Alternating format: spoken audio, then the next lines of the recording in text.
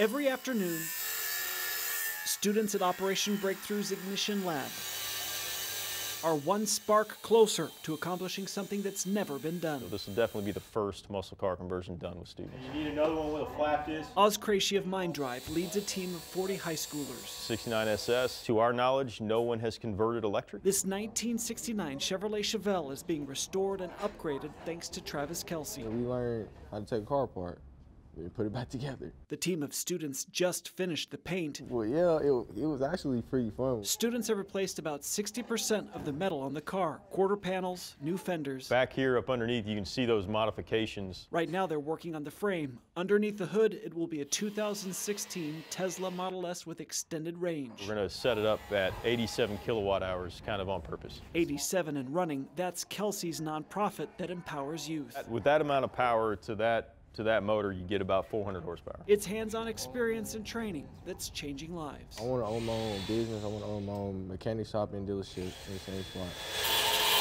The team of students have a few weeks left of work, and then they're hoping to have the car finished and ready to go for the NFL draft. Brian Johnson, KMBC 9 News.